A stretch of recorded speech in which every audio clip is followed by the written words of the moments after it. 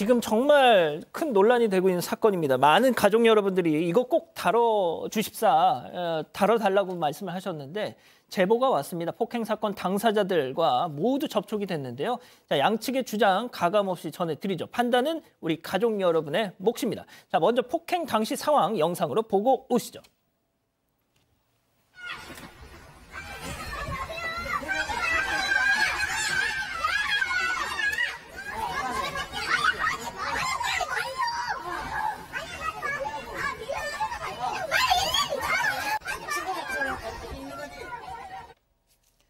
자, 주변에 아이들이 있는 상황에서 두 남성이 몸싸움이 벌어진 겁니다. 저 폭행이 벌어지기 전 어떤 상황이었는지 피해자다라고 얘기를 하는 이 제보자분 얘기 들어보시죠.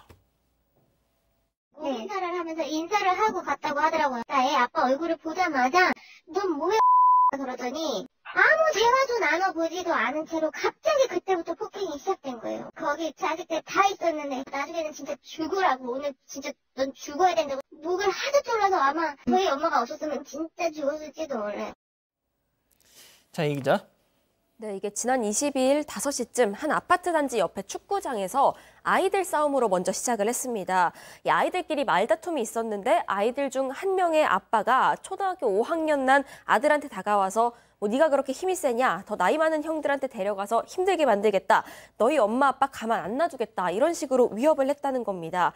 그래서 아들이 겁에 질려서 울면서 이 제보자에게 전화를 하게 됐고 당시 부부는 일을 하고 있었기 때문에 같이 사는 친정 어머니께 도움을 요청했습니다. 그래서 이 친정 어머니가 현장에 먼저 도착을 했고 뒤이어 남편이 갔는데 남편은 인사를 하면서 다가가려고 했는데 이 거기 먼저 와 있던 그 남성이 너는 뭔데? 라고 말하면서 일방적으로 폭행을 시작했다는 게 이 제보자 주장입니다.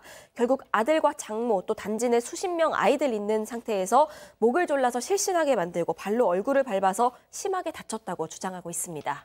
자, 들으신 것처럼 제보자는 우리 남편이 일방적으로 맞았다 이렇게 얘기를 하고 있습니다. 자, 폭행 가해자로 지목된 남성은 전혀 반대되는 얘기를 하고 있습니다. 체크포인트 짚어보죠. 자, 나도 맞았답니다. 무슨 얘기인지 폭행을 한, 폭행을 했다고 지금 보도가 되고 있는 그 당사자의 얘기 직접 들어보시죠.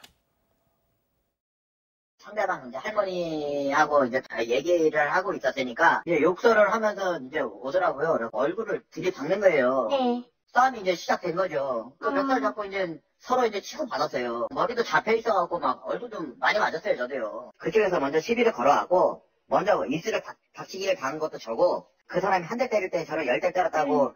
일방적인 폭행은 아니잖아요. 자, 본인이 많이 때린 건 맞지만 나도 맞았다 뭐 이런 얘기 같아요.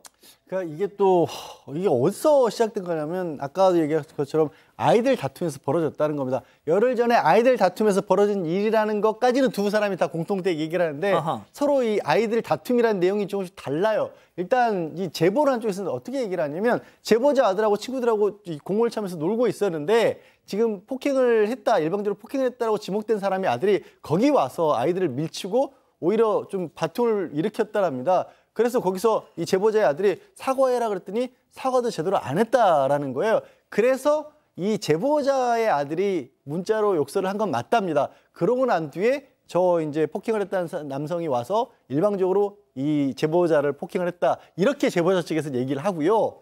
거꾸로 지금 폭행을 많이 했다라고 지목된 쪽에서는 어떻게 얘기를 하냐면 아이들끼리 다툼이 있었던 건 맞는데 사과를 했다라는 겁니다. 그런데 제보자의 아들이 이게 사과가 성의 없이 됐다라고 얘기를 하고 그 자리에 아이들은 부모를 욕을 하고 제보자 아이들은 문자까지 보내서 욕을 했다라는 거예요. 그래서 이 지금 폭행을 많이 당했다라고 지목된 사람이 이게 놀이터에 지금도 그 애들이 있냐라고 물어봐서 자기 아들이 저희가 그렇게 했다. 나한테 욕설 문자 보냈다고 해서 가서 얘기를 하고 있었답니다. 얘기를 하고 있는데 갑자기 그 지금 제보한 사람이 와서 먼저 시비를 걸고 이렇게 뭐 신랑이 보려다가 치고받고 싸우게 된 거다.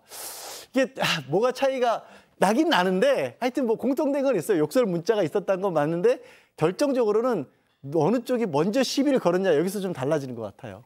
이게 지금 보도된 지금 뭐, 아니, 무슨 얘기야 도대체 이렇게 좀 헷갈리실 수 있어요. 지금까지 보도된 대로 가해자, 피해자 이렇게 저희가 설명을 드리면 이해하기 쉬우실 겁니다. 자 그런데 양측이 어, 다 서로 입장이 달라서 저희가 딱 부러지게 가해자 피해자라고 호칭을 못 하겠어서 지금 이러고 있는 겁니다. 그렇죠. 지금 결국 문자 때문에 애들 싸움이 어른 싸움으로 번진 상황으로 이제 이해를 하면 될 것 같고요. 지금 우리 제보했던 사람 피해자라고 해야 되나요?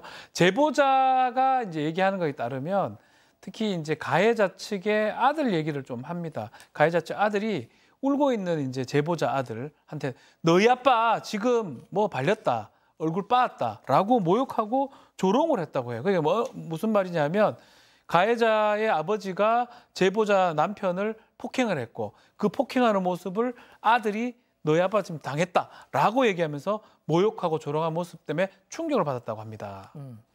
자, 영상은 지금 폭행 장면 딱 그 2분 남짓한 그 장면 하나 때문이기 때문에 아, 이게 참 실제로 어떤 전 이, 이 전후 과정이 있었는지는 모르겠습니다만 아, 폭행 당사자 그러니까 더 많이 때린 쪽에서는 말도 안 된다. 펄펄 뛰고 있다면서요, 교수님? 네, 뭐 폭행을 많이 한 것으로 지금 알려지고 있는 사람, 아까 그 맞아서 얼굴 나오신 분 말고요. 예, 예. 그분의 얘기는 이 사람이 이제 폭행을 뭐 집에 이렇게 들락날락하면서 했던 것 같아요. 그래가지고 이 사람의 이제 주장은 뭐 슬리퍼를 어, 신고 갔는데 그런데 나중에 신발을 또 바꿔 신을 정도로 뭐 이 여유가 있었다 이런 것들이 이제 가해자의 특징이다 이렇게 이제 주장을 했던 것 같아요. 그래서 그런 것들은 뭐 자기가 직접 운동화를 신은 것이 아니라 뭐 병원에 가야 해서 그래서 뭐 운동화를 신 나 아내가 갖다 줘가지고 운동화를 신은 거다 뭐 이런 식으로 이제 해명을 하는데 뭐가 어찌 되었든지 간에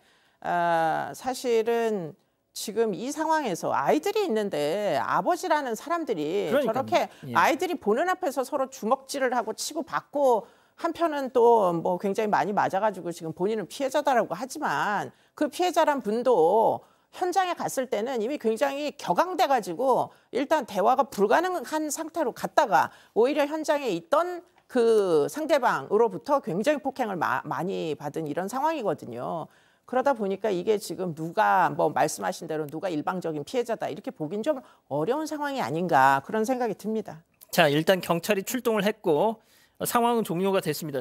자, 둘 다 병원으로 또 가서 거기서 또 뭐 일이 벌어졌다고요? 네, 근데 여기 대해서도 말이 갈립니다. 일단 제보자 측 주장인데 남편이 응급실 갔는데 폭행 당사자 역시도 진단서 끊어야 한다면서 와 있었다는 겁니다. 그러더니 다가와서 뭐 너도 죽어야 한다, 더 때렸어야 하는데 뭐 이런 얘기를 해서 이 깡패냐 이렇게 받아쳤는데 그랬더니 가족 모두 죽어야 한다, 뭐 이런 얘기를 해서 결국 또 부- 경찰을 불렀다는 거죠. 남편은 입원 중에 급성 신부전까지 와서 치료 중이고 뭐 두통에 이명에 구토 증상 때문에 이런 뇌신경 추가 검사까지 받은 상태고요. 전치 4주 그리고 갈비뼈 부러진 상태라고 합니다. 추가적인 진단서도 떼려고 기다리고 있다고 했습니다. 하지만 여기에 대해서도 폭행 당사자 이 설명은 달랐습니다. 응급실에서 만나서 많이 다치셨나요? 라고 물어봤는데 그쪽에서 먼저 아 깡패랑 무슨 말을 말을 섞냐 이렇게 얘기를 하더라. 그래서 나도 같이 여기 나갔던 거다라고 얘기를 했습니다. 그러면서 자신은 뭐 그때 사진을 남긴 건 없지만 전치 2주 진단 받았다 이렇게 전했습니다. 자, 복잡합니다. 그냥 결론을 내겠습니다. 양 변호사님. 쌍방이긴 한데 예. 분명 한쪽이 더 많은 피해를 입은 건 팩트잖아요. 예, 그런데 우리가 어, 형사를 따질 때는요. 먼저 누가 시비를 걸었는지는 사실은 그렇게 중요하지 않습니다. 그러니까 시- 피해를 많이 입은 쪽이 많이 입었죠. 거기에 대해서는 상해죄로 가해자가 처벌받을 수 생긴 거고요. 어, 이렇게 말씀을 드릴 수밖에 없는데 조금 주먹질을 한 게 사실이라면 피해를 많이 입은 쪽 역시도 폭행죄로 처벌을 받을 가능성이 저는 오히려 높은 상황입니다. 우리 지금 법이 그렇습니다. 박 변호사님. 예, 맞습니다. 아, 싸움에 정당방위는 없어요. 그러니까 맞아야 돼요. 일방적으로 맞았을 맞은 게 아니라면 이거는 둘 다 입건이 되고 둘 다 처벌될 가능성이 높습니다. 예. 일단 뭐 경찰이 뭐 수사를 좀 하겠죠. 그래서 좀 어, 경중 진위 여부를 가렸으면 좋겠습니다.